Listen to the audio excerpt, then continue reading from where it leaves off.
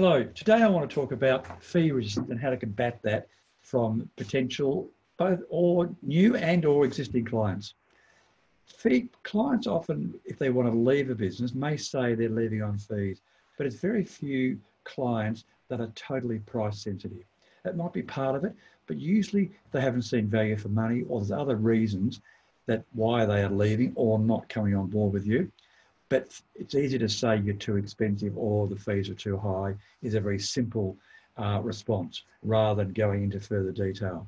So it's really important to make sure that you acknowledge the fear of combat fees. If, if budget's an issue, discuss that up front. Make sure they're aware of that and you're very aware of it too, that you want to be able to spend their money wisely and give them real goods for whatever you're trying to provide for them too.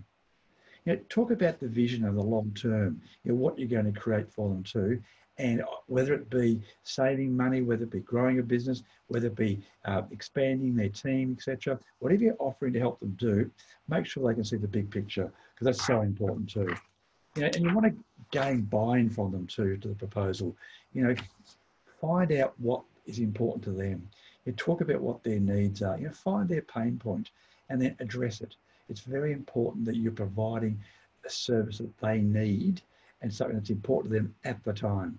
And that changes over time, of course, but it's really important to drill down and ask lots of questions so you can find out what's important to them and make sure you can satisfy that need, which will make a big difference. You know, make sure also it's about them, not about you. So make sure the word you is in there all the time. Talk about what, what can be done for them and what's important to them, not to you. So that's why, yes, it's got to be a win-win, but it's really important that they understand that.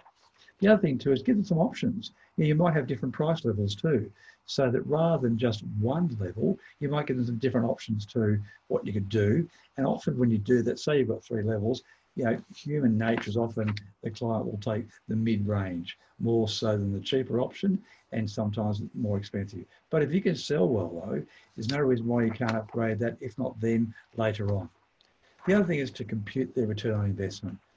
You know, use words like investment, not expense, so that they're investing in improving what they need and in your services too, so that they can live it. Remember, most people aren't totally price sensitive. Yes, it's important. People want value for money, but make sure you don't make price the issue.